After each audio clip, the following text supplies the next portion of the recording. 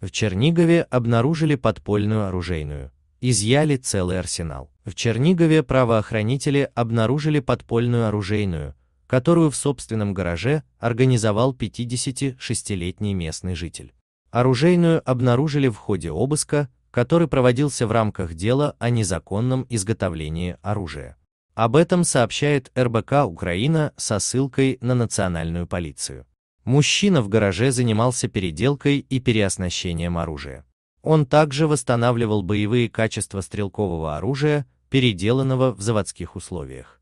В двух гаражных помещениях правоохранители обнаружили 40 объектов, внешне похожих на огнестрельное оружие и боеприпасы, в частности, ручные гранаты, разнообразные мины, одноразовые гранатометы ряда моделей, винтовка и несколько карабинов Мосина, 5 винтовок Ствет, ручные пулеметы Дегтярева, автоматы Калашникова, пистолет-пулемет ППШ, пистолеты-пулеметы ППС, два станковых пулемета.